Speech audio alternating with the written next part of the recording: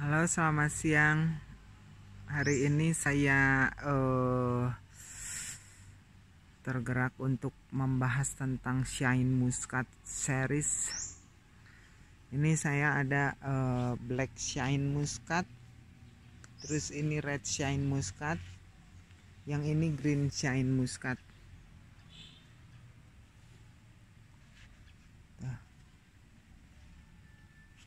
Ini saya mencari di uh, literatur-literatur di medsos ataupun di yang lain.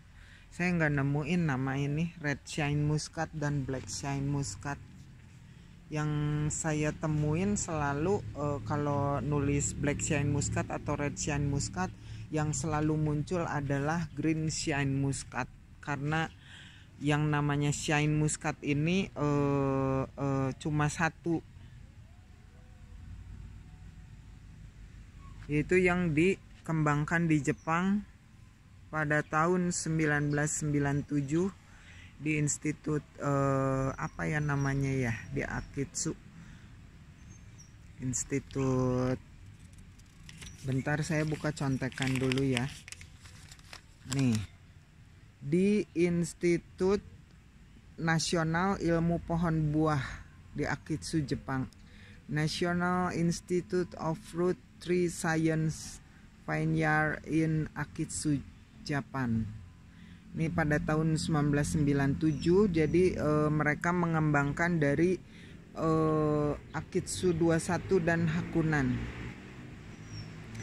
Lalu tahun 1999 diuji coba dan ditanam di 30 lokasi di Jepang. Lalu pada tahun 2003 dilepaskan ke petani komersial untuk ditanam dan pada tahun 2006 didaftarkan sebagai Shine Muscat namanya gitu ceritanya. Lalu sesudah itu di, dibawa ke Cina dan Korea. Di Cina namanya menjadi uh, apa uh, Sunshine Rose dan uh, Sunlight Rose jadi yang namanya Sunshine Rose yang dari Cina itu uh, adalah anggur yang sama ya dengan Shine Muscat. Gitu. Hijau warnanya. Yang saya bingung ini Red Shine Muscat dan Black Shine Muscat ini apa sebetulnya? Dan dikembangkan di mana nggak ada ininya artikelnya. Saya harus cari ke mana coba? Kalau udah kayak begini.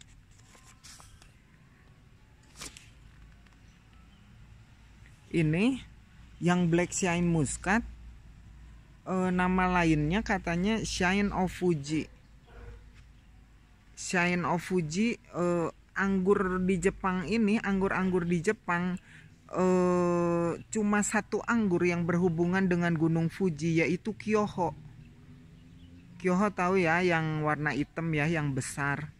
Itu kenapa? Karena itu salah satu anggur tertua di Jepang dan ditemukan di Gunung Fuji. Gitu. Maknya ma black shine muscat adalah kyoho. Orang daunnya beda ya. Saya punya itu anggur kyoho. Daunnya nggak kayak begini. Ini halus. Ini daunnya tuh halus. Bawahnya juga dipegang halus.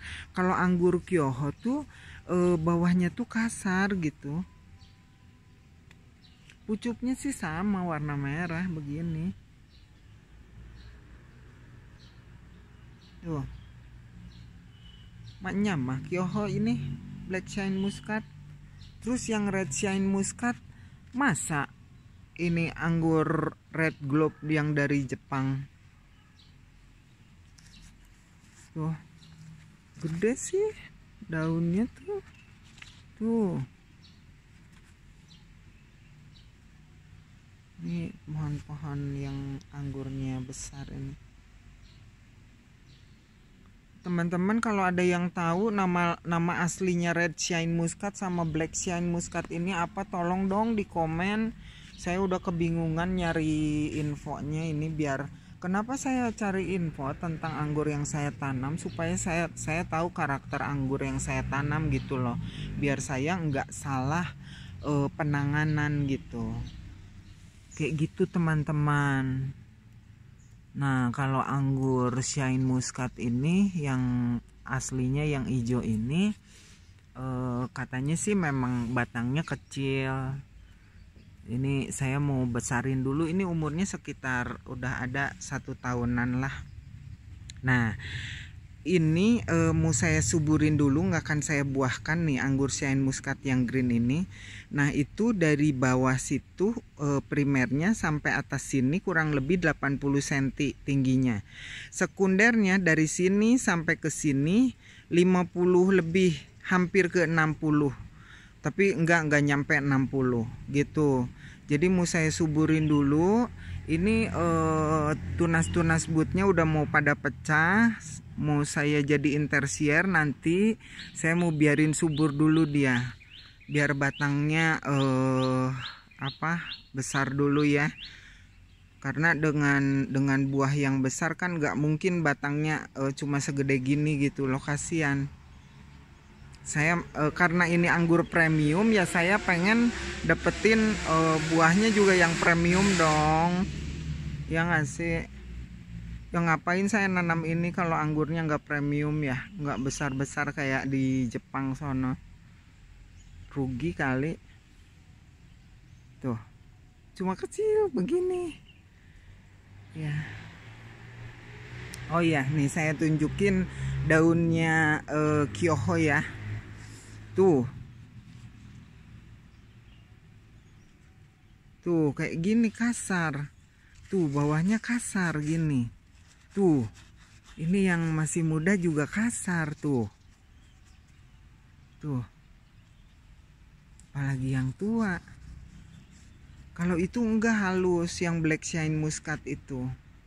Jadi sebenarnya apa namanya coba? Hah, bingung. Kenapa ya? Diganti-ganti namanya.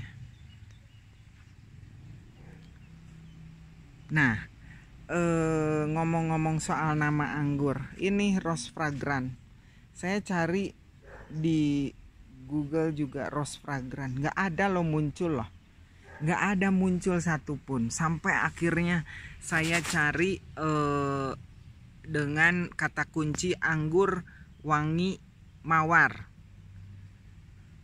Yang keluar apa coba yang saya tahu kan uh, yang yang mengembangkan anggur dengan dengan uh, wangi mawar tuh hanya di Cina ya. Dia dia sudah mengembangkan kalau nggak salah uh, 8 varian deh. 8 varian anggur yang rasanya uh, seperti mawar. Ada harum mawar gitu. Lalu saya kata kuncinya adalah anggur rasa mawar dari Cina. Muncul deh dengan ciri-ciri yang sama namanya ternyata Jingyan ya namanya ini Jingyan. Rose fragrant ini. Kalau tamaki mah tamaki aslinya. Aduh tolong dong jangan dirubah-rubah namanya biar nggak pusing saya nyarinya. Karena kan kita nanam anggur nih bukan bukan hanya sekedar nanam lalu berbuah lalu panen dan puas dengan hasilnya enggak gitu loh. Kita juga harus mengenal karakter uh, pohon anggur yang kita tanam kan ada pohon anggur yang tahan dingin, tahan panas, tahan jamur segala macam. Sekarang kalau namanya diganti-ganti kan kita jadi susah ya cari cari literaturnya. Please jangan diganti-ganti. Pakailah nama asli. Kalau mau uh, pakai nama yang lain eh bikinlah varietas anggur dulu baru kita pakai nama yang kita kepengen gitu loh. Nggak diganti-ganti gini. Oke Bray. Jadi liur wing. Tuh kalau ini kan asli shine muscat gitu loh. Ada keluar ininya. Tuh ada keluar ini literaturnya beserta dengan sejarahnya. Kan jadi enak penanganannya gue tahu gitu harus digimanain. Pada akhirnya gue tahu gitu bahwa batang shine muscat ini memang kecil dan dalam satu tahun harus digedein dulu gitu. Jadi nggak menyesatkan gitu.